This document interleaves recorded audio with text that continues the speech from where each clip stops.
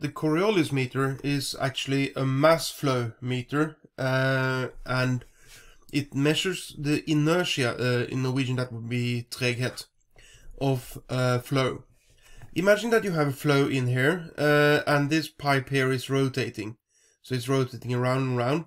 And you have a flow of uh, peas uh, or balls of some manner. And when they flow, when, when they go from here they actually just rotate around themselves. But when they are up here, they have a, a high rotational velocity. So they need to be given the velocity and they are given the velocity from the pipe wall. And uh, when you go back here again, they have to reduce the velocity. So they are giving the reduction in velocity, um, in the rotational velocity, they are given from the pipe wall. So when you accelerate and deaccelerate the particles in the flow, you will actually get some twisting of the pipe since the pipe wall has to accelerate and deaccelerate the particles in the flow.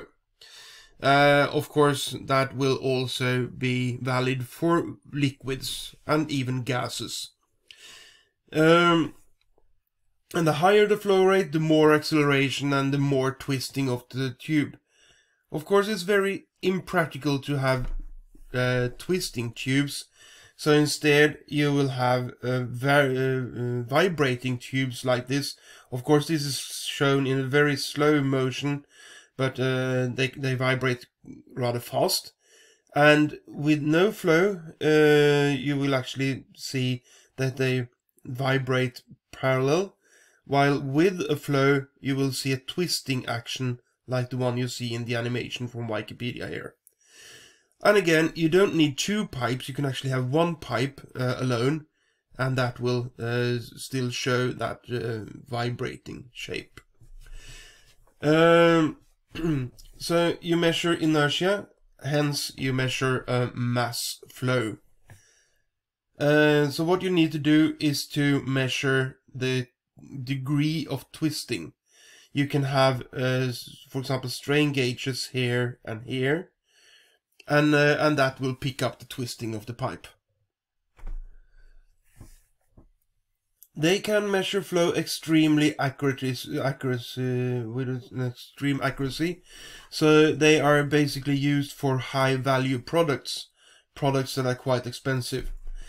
Uh, when uh, you measure gas or vapor, uh, drops can form. So actually, what you will see in uh, in a uh, in a plant is that if you have uh, a Coriolis tube, it will bend upwards if you measure gas and vapor, and it will bend downwards if you measure liquids. So therefore, in that way, if you have a gas and uh, something condensates, for example, the liquid will run out of the pipe, while if you have a liquid and bubbles form for some reason, they will run out of the pipe itself, and therefore you will have a more accurate reading here. Um,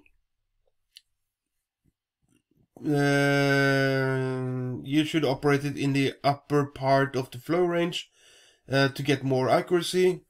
Um, and uh, pipe vibration can cause problems during uh, operation.